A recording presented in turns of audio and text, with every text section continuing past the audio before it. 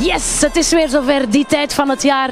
Tijd voor het grootste licht, de coolste studentenquiz in het heelal. En als je nog niet weet wat dat is, dan zal ik je dat even vertellen. Kom maar mee met mij. Wat valt er te winnen? Een reis? Naar? Zuid-Afrika? Juist!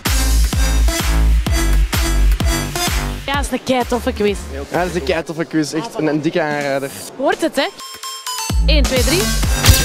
En... No sad face. Oh, een klavertje 4. Yes.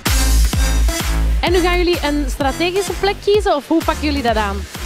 Gewoon gaan zitten waar dat er plaats is. Gewoon gaan zetten.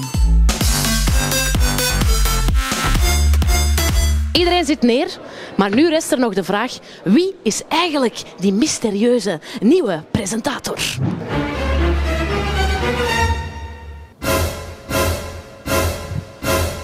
Het is Adriaan van den Hoofd. Eh, eh, Ja, mijn leven is eigenlijk één groot trauma. Daarom presenteer ik het grootste licht. Ze zoeken mensen die het heel moeilijk hebben gehad in hun jeugd. Ja. Je kan ook je gewicht in mountainbikes winnen. Is dat echt? Nee, dat is niet waar.